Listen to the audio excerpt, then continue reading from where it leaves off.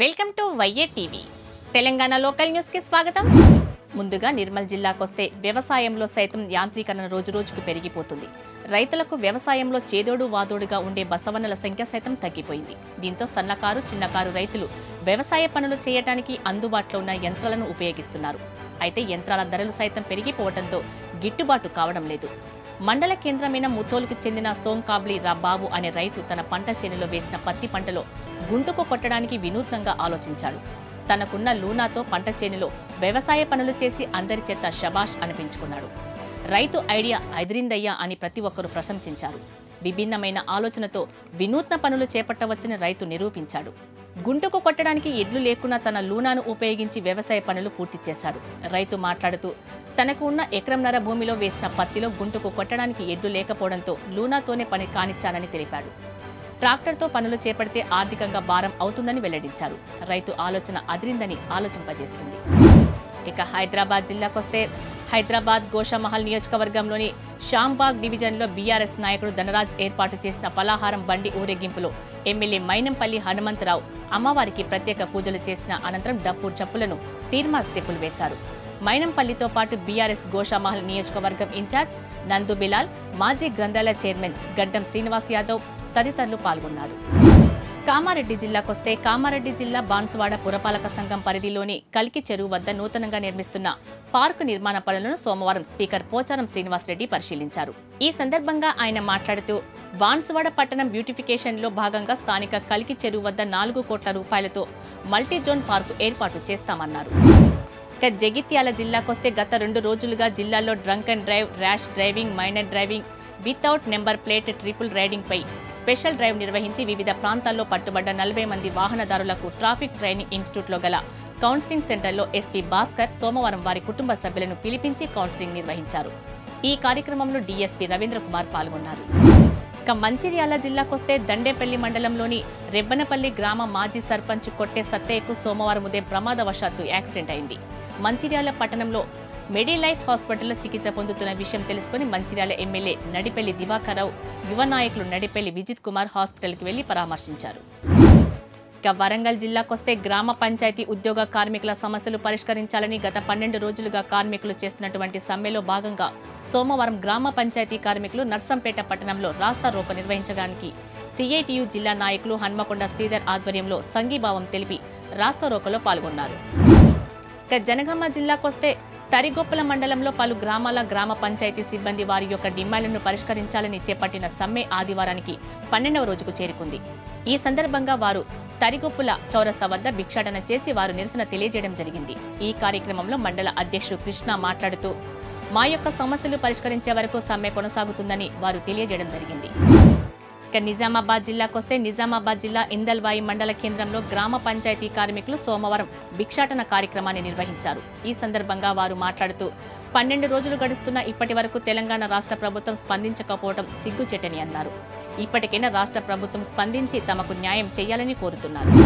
ఇక యాదాద్రి జిల్లాకొస్తే చిట్టీల పేరుతో ఓ హిజ్రా ఆరు కోట్లు ఉడాయించిన సంఘటన యాదగిరిగుట్టలో జరిగింది. బాధితులు తెలిపిన వివరాల ప్రకారం గత ఇరవై ఐదు సంవత్సరాలుగా హిజ్రా యాదగిరిగుట్టలో నివాసం ఉంటూ అందరిని నమ్మించి రెగ్యులర్ పంట చిట్టీల వ్యాపారం చేస్తుంది. నాలుగు రోజుల క్రితం ఆరు కోట్లతో ఉడాయించింది తన రక్షణ కోసం ముందు జాగ్రత్తగా ఐపీ దాఖలు చేసి పారిపోయింది. బాధితుల తోటి హిజ్రాల సహాయంతో ఆ హిజ్రాను పోలీస్ స్టేషన్లో అప్పగించారు. ఇక నాగర్ కర్నూలు జిల్లాకొస్తే నాగర్ కర్నూలు జిల్లా బల్మూరు మండల కేంద్రంలో గ్రామ పంచాయతీ కార్మికులను ప్రభుత్వ ఉద్యోగులుగా గుర్తించాలని మల్టీపర్పస్ వర్కర్ విధానం విధానం చేయాలని గ్రామ పంచాయతీ కార్మికుల డిమాండ్ పరిష్కారం చేయాలని కోరుతూ అంబేద్కర్ విగ్రహం వద్ద సోమవారం రాస్తా రోకర్ చేశారు. కార్యక్రమంలో సిపిఎం నాయకులు శంకర్ నాయక్ పాల్గొని మద్దతు తెలిపారు. శంకర్ దాస్ నిరంజన్ ఈశ్వరయ్య తదితరులు పాల్గొన్నారు. ఇక రంగారెడ్డి జిల్లాకొస్తే రైతులకు ఇరవై నాలుగు గంటల పాటు త్రీ ఫేజ్ కరెంటును సరఫరా చేస్తున్నామని చెప్పడం పచ్చి అబద్ధమని ప్రభుత్వం బోల్తాపడ్డ విషయం తెలుసుకుని రైతాంగం మేలుకుంటుందని టీపీసీసీ రాష్ట్ర ప్రధాన కార్యదర్శి వీర్లపల్లి శంకర్ అన్నారు. సోమవారం షాద్ నగర్ కొందుర్గు మండలం చిన్న ఎల్కిచర్ల మండల పార్టీ అధ్యక్షుడు కృష్ణారెడ్డి ఆధ్వర్యంలో విద్యుత్ సబ్స్టేషన్ను సందర్శించారు. కరెంటు సరఫరా వివరాలను తెలుసుకొని మండిపడ్డారు. కరీంనగర్ జిల్లాకొస్తే మూడు ఎకరాలకు మూడు గంటల కరెంటు సరిపోతుందంటూ పీసీసీ చీఫ్ రేవంత్ రెడ్డి చేసిన వ్యాఖ్యలను నిరసిస్తూ జగిత్యాల జిల్లా వెలగటూరు మండల కేంద్రంలో market committee chairman Pattipaka Venkatesh అధ్యక్షతన రైతులతో సోమవారం సమావేశం నిర్వహించారు. ఈ సందర్భంగా వారు మాట్లాడుతూ మూడు గంటల కరెంటు చాలన్న కాంగ్రెస్ పార్టీ కావాలో మూడు పంటలు పండాలంటున్న సీఎం కేసీఆర్ కావాలో రైతులు ఆలోచించాలని సూచించారు. ఇక భద్రాద్రి జిల్లాకొస్తే తెలంగాణ ముఖ్యమంత్రి కేసీఆర్పై భద్రాచలం ఎమ్మెల్యే పోదెం వీరయ్య సోమవారం భద్రాచలం పోలీస్ స్టేషన్లో నమ్మక ద్రోహం చేశారని ఫిర్యాదు చేశారు. భద్రాచలం నియోజకవర్గ ప్రజలను నమ్మక ద్రోహంగా మోసం చేశారని గోదావరి కరకట్ట పొడిగింపు మరమ్మతుల కోసం సీఎం ఇచ్చిన హామీని విస్మరించారని పోలీస్ స్టేషన్లో ఫిర్యాదు చేశారు. ఇక సిద్దిపేట జిల్లాకొస్తే జేఈలో ఉత్తీర్ణత పొంది ఐఐటి కాన్పూర్లో సీటు సాధించిన చింతల మానసని అభినందించిన దుబ్బాక శాసనసభ్యులు మాధవిని రఘునందన్ రావు సోమవారం మానసకి గిఫ్ట్గా ల్యాప్టాప్ అందిస్తానని ఆయన హామీ ఇచ్చారు. జేఈలో సీటు సాధించి ఉత్తీర్ణులైన సందర్భంగా శుభాకాంక్షలు తెలిపారు. భవిష్యత్తులో వారి చదువుకు అన్ని విధాలుగా అండగా ఉంటానని అన్నారు. వనపర్తి జిల్లాకొస్తే వనపర్తి శ్రీనివాసపురం శ్రీ పంచముఖ ఆంజనేయ స్వామి ఆలయాన్ని రాష్ట్ర వ్యవసాయ శాఖ మంత్రి సింగిరెడ్డి నిరంజన్ రెడ్డి సతీమణి సింగిరెడ్డి వాసంతి దర్శించుకున్నారు. సోమవారం అమావాస్య సందర్భంగా ఆంజనేయ స్వామికి అభిషేకం ఆకుపూజ ప్రత్యేక కార్యక్రమాలు నిర్వహించారు. కమిటీ సభ్యులు స్వాగతం పలకగా ఆలయ పూజారులు తీర్థప్రసాదాలు అందజేశారు. ఇక రాజన్న సిరిసిల్ల జిల్లాకొస్తే వేములవాడ పట్టణంలోని బ్రిడ్జి దగ్గర ఉన్నటువంటి ఉజ్జయిని మహంకాళి అమ్మవారిని సోమవారం రాజన్న సిరిసిల్ల జిల్లా కాంగ్రెస్ పార్టీ అధ్యక్షులు ఆది శ్రీనివాస్ దర్శించుకొని ప్రత్యేక పూజలు చేశారు. తదనంతరం అన్నదాన కార్యక్రమంలో పాల్గొన్నారు. అమ్మవారి దయతో అందరూ సుఖ సంతోషాలతో ఆయుర ఆరోగ్యాలతో ఉండాలని సకాలంలో వర్షాలు కురిసి పాడి పంటలు సమృద్ధిగా పండి రైతుల జీవితాల్లో వెలుగులు నిండాలని ఆ అమ్మవారిని వేడుకున్నారు. ఇక వికారాబాద్ జిల్లాకొస్తే గుండుమల్ మండల కేంద్రంలోని శివాజీ చౌరస్తా దగ్గర సోమవారం టీపీసీసీ అధ్యక్షులు రేవంత్ రెడ్డి దిష్టిబొమ్మను ఎమ్మెల్యే పట్నం నరేందర్ రెడ్డి ఆధ్వర్యంలో బీఆర్ఎస్ నాయకులు దగ్ధం చేశారు. ఈ సందర్భంగా ఎమ్మెల్యే మాట్లాడుతూ రైతు వ్యతిరేకి రేవంత్ రెడ్డి రైతులకు నిరంతర కరెంటు వద్దన్నందుకు చెంపలు వేసుకొని తెలంగాణ రైతులకు క్షమాపణ చెప్పాలని ఎమ్మెల్యే నరేందర్ రెడ్డి డిమాండ్ చేశారు. ఇక కొమరం జిల్లాకొస్తే కొమరంభీం జిల్లా వ్యాప్తంగా గురుకుల ఉపాధ్యాయుల సమస్యలను పరిష్కరించాలని డిమాండ్ చేస్తూ సోమవారం టీఎస్ యూటీఎఫ్ ఆధ్వర్యంలో ఆసిఫాబాద్ జిల్లా కేంద్రంలోని కలెక్టర్ కార్యాలయం ఎదుట ధర్నా కార్యక్రమాన్ని నిర్వహించారు. ఖమ్మం జిల్లాకొస్తే ఖమ్మం జిల్లా మందిర పట్టణంలోని శ్రీ మృత్యుంజయ స్వామివారి దేవాలయ కమిటీ సభ్యులు సోమవారం పలువురు దాతల సహకారంతో పట్టణంలోని అనాథలకు భిక్షాటన చేసుకునే వారికి అన్నదాన కార్యక్రమం నిర్వహించారు. ఈ సందర్భంగా ఆలయ నిర్వాహకులు మాట్లాడుతూ మానవ సేవే మాధవ సేవగా భావించి ప్రతి సోమవారం స్వామివారి పేరు మీద అన్నదాన కార్యక్రమం నిర్వహిస్తున్నట్లు తెలియజేశారు. ఇక మహబూబ్ నగర్ జిల్లాకొస్తే మహబూబ్ నగర్ జిల్లా కేంద్రంలోని మంత్రి క్యాంపు కార్యాలయంలో నాయి బ్రాహ్మణ కులానికి చెందిన వారు సోమవారం బీఆర్ఎస్ పార్టీలోకి చేరారు. రాష్ట్ర ఎక్సైజ్ శాఖ మంత్రి శ్రీనివాస్ గౌడ్ బీఆర్ఎస్ పార్టీ కండువా కప్పి సాదరంగా ఆహ్వానించారు. ఈ సందర్భంగా మంత్రి మాట్లాడుతూ పార్టీ చేస్తున్న అభివృద్ధి పనులకు ఆధారంగానే వివిధ పార్టీ నాయకులు పార్టీలోకి వస్తున్నారని తెలిపారు. ఇక సూర్యాపేట జిల్లాకొస్తే దేశంలో ఎక్కడా లేని విధంగా ముఖ్యమంత్రి కేసీఆర్ తెలంగాణ రాష్ట్రంలో అనేక సంక్షేమ పథకాలు అమలు చేసి మహిళలకు పెద్దపీట వేస్తున్నారని తెలంగాణ రాష్ట్ర మహిళా సహకార అభివృద్ధి సంస్థ చైర్మన్ ఆకుల లలిత అన్నారు. సోమవారం కోదాడ పట్టణంలోని వైష్ణవి ఫంక్షన్ హాల్లో కౌన్సిలర్ కల్లూరి పద్మజ సహకారంతో ఉమ్మడి నల్గొండ జిల్లా దుర్గాబాయి మహిళా శిశు వికాస కేంద్రం ఆధ్వర్యంలో శిక్షణ పొందిన యాభై మందికి సర్టిఫికెట్లు అందజేశారు.